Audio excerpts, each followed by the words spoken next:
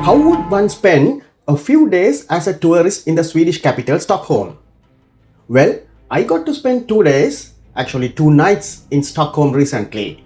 And here is this midlifers short adventures in the Swedish capital.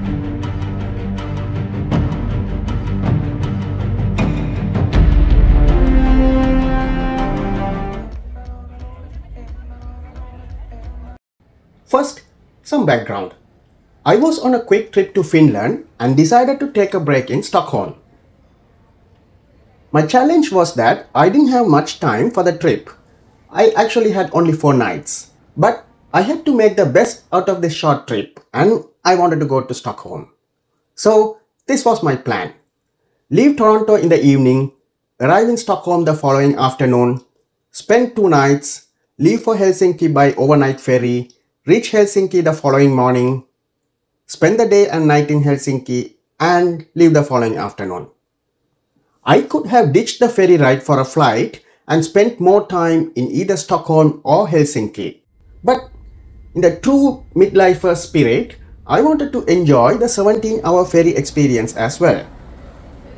There are three options to reach Stockholm city center by public transit. The Arlanda Express, the slower commuter train and the buses. I wanted to take the Arlanda Express which was expensive but takes just 15 minutes to reach the city center. It costs 340 Swedish kroner which is just over 33 US dollars but for two people it's only 45 USD. And according to the hotel and Google Maps, it's just a 10 minute walk from the central station to my hotel. Getting the ticket was easy and a few minutes later, I was rolling towards the city. It was one of the fastest trains I had taken as it inched past the 190 km per hour limit. From the central station, the T-Centralen, it wasn't difficult to find the hotel.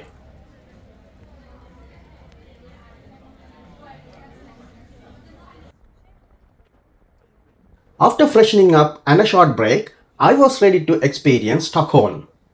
My first stop was a Nobel Prize Museum. The museum is located in the Old Town, that is Gamla Stan section of the city, and it was within walking distance from my hotel. The museum is an interesting place to experience. There are replicas of devices and equipment that some of the laureates used in their research, including microscopes and research papers. There are also artifacts like notebooks and typewriters that some laureates used for inspiration. I found the model of the DNA as well as the copy of the famous Photo 51, which is the X-ray diffraction image of the first DNA double helix structure.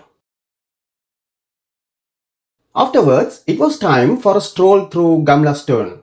One could certainly say the heart of the area is the Stortorget, the oldest square in Stockholm with a rich history dating back to the 15th century.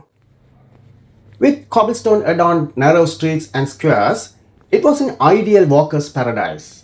One could casually stroll around, absorbing the sights and sounds of the area.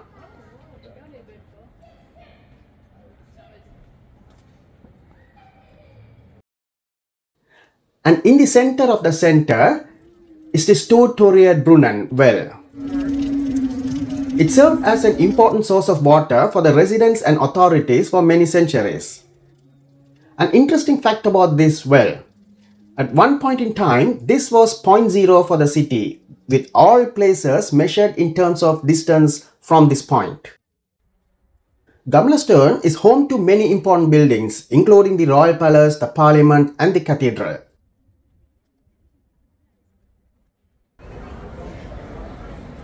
There are also souvenir shops and restaurants, all full of people enjoying the sights and sounds of the summer and the city.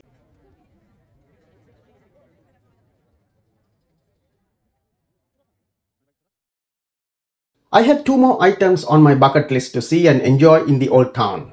First, the alley of Mårten Trotzig, Stockholm's narrowest street, just under 3 feet or 90 centimeters wide at its narrowest point. It's actually a thoroughfare connecting two streets with 36 steps.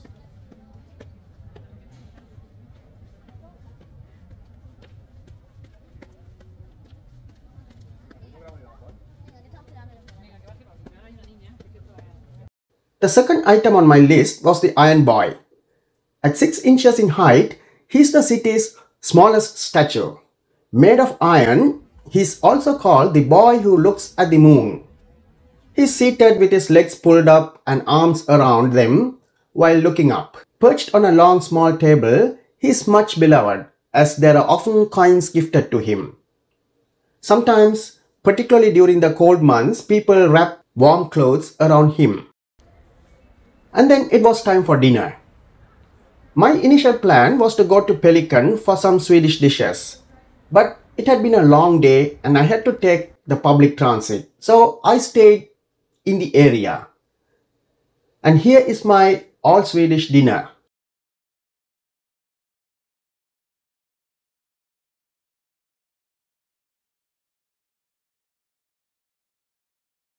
The next day, which was the first and the only full day, first it was time for a breakfast. I love European breads, buns and cured meats. I had a multigrain bun with ham and cheese and coffee to go with it. Then it was time for my first adventure. Stockholm has an impressive 100 subway stations, connecting its three lines, identified by their colors.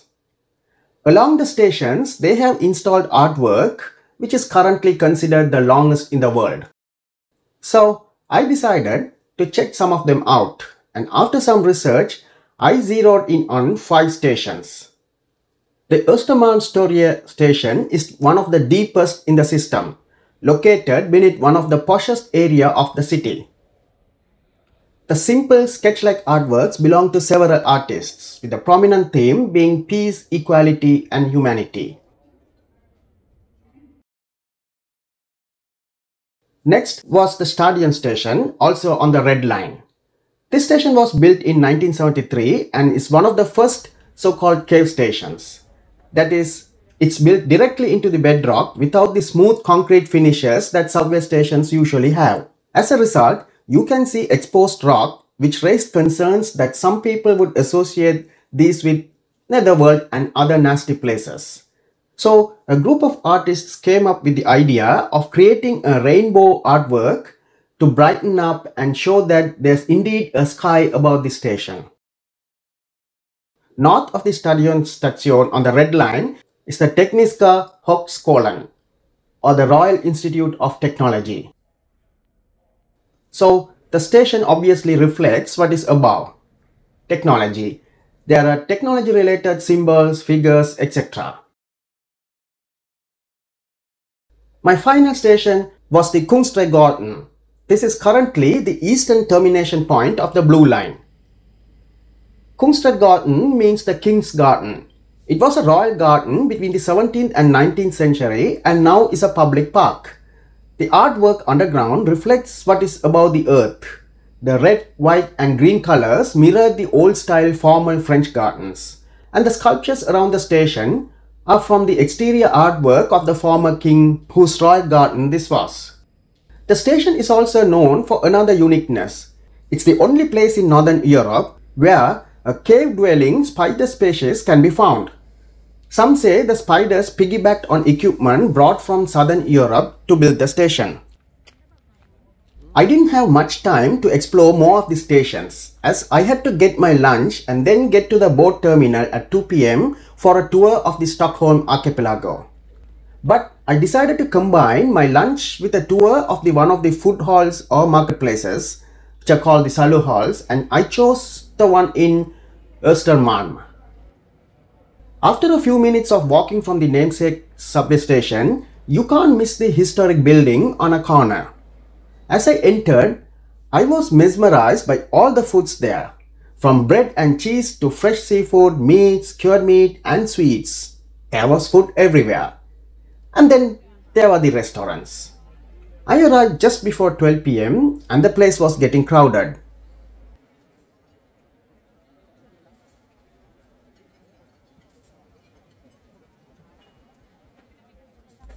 For my lunch, I decided to try herring, another Swedish dish, and my dish consisted of five different types of herring dishes. And then there was scraped cheese, potatoes, a hard brown cracker bread, and of course the lingonberry.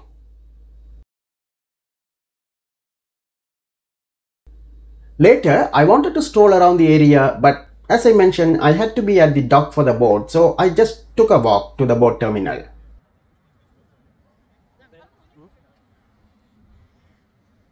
Skärgården den består av 30 000 olika öar och är därför en stor del av varför Sverige The archipelago tour started on time.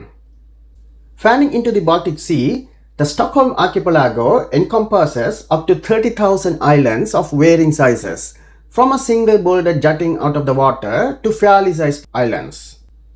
It covers an area of more than 1,600 square kilometers. So now we've turned in around number 18 on the map, Tegelen or the Brick Island here. And the Swedes are naturally immensely proud of this natural wonder. And many movies and books have been set on some of these islands. Some of these islands were initially inhabited by fisherfolk. But eventually, wealthy Stockholmers built their summer houses to escape the rather uncomfortable living conditions during the summer in the city. Since the end of World War II, they have become more egalitarian.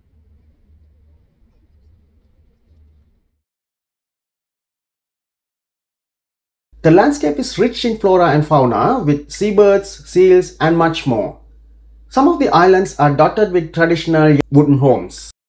There are then these bigger islands like Vaxholm and Sandhamn where you could walk around and have some fantastic seafood meals and much more. There are also lighthouses and fortresses.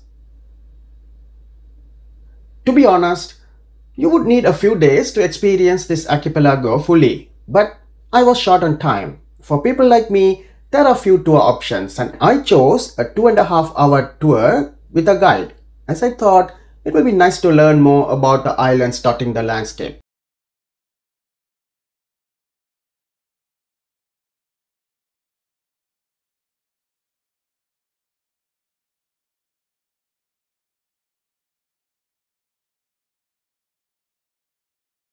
After my return, it was time for fika, coffee time in Swedish, and the Swedes are very passionate about their fika. It was kind of late at 4.30, but coffee time it was. After the fika and some freshening up, it was time for more exploration. I just stumbled around. My hotel was in Norrmalm, which is the city center and therefore the busiest. Stockholm was enjoying a four-day annual culture festival and the area was beyond lively. There were several stages with various musical performances and thousands of people were enjoying themselves.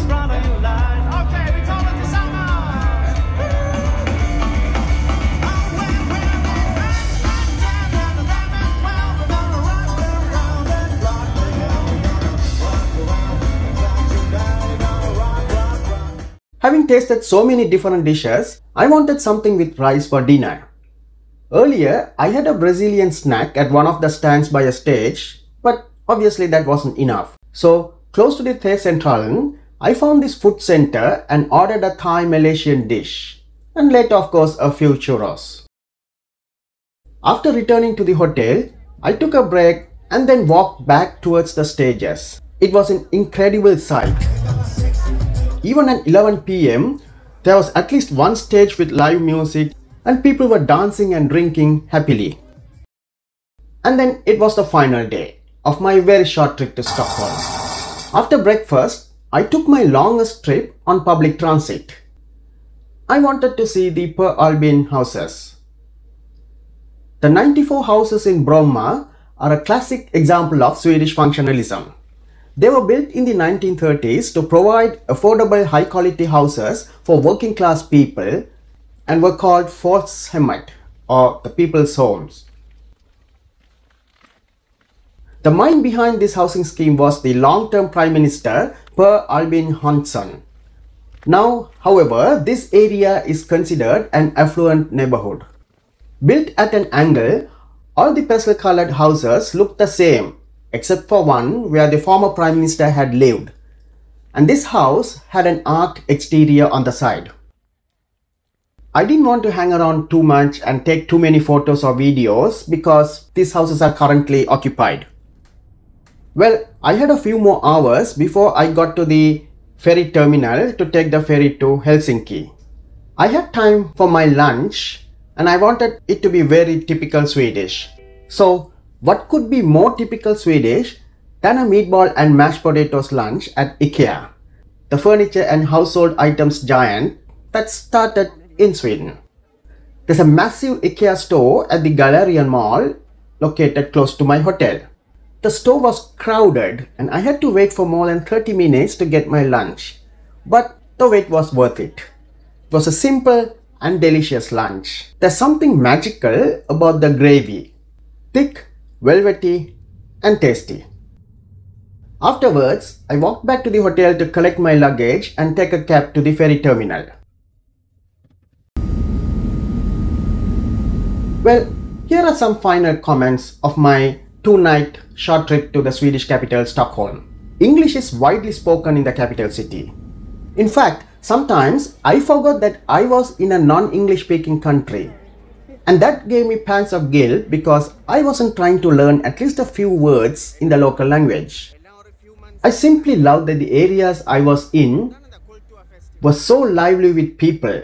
But it could also be because it was summer and Stockholm was hosting the culture festival. It would be interesting to know what the city is like in winter. Most cafes and malls offer free Wi-Fi. In some areas, I saw the Stockholm guest Wi-Fi account, but I couldn't sign in. I was also told that T-Centralen has Wi-Fi as well, but I never tried. I subscribed to a European regional eSIM account, so I was covered during my transit in Iceland and then in Stockholm and Finland. Sweden is a near cashless society. Though their central bank is calling for the quote unquote strengthening of the government's role in ensuring cash is accepted. I used a credit card that doesn't charge foreign transaction fees. So usually whenever I travel, I transfer the cash in advance to that credit card account and then use it. Had I had more time, I would have considered taking a train ride to the north from where I could have crossed the border to Finland and then taken the train to Helsinki. But as I mentioned, I just had two nights. All in all, it was a very worthwhile short trip.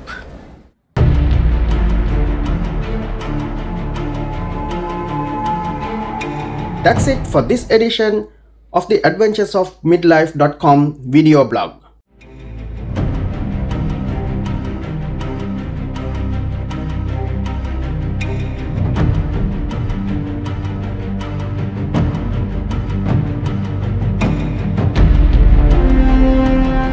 I hope you enjoyed my adventures in the Swedish capital Stockholm for just over two days. I hope to see you again. Thank you for watching. Ciao.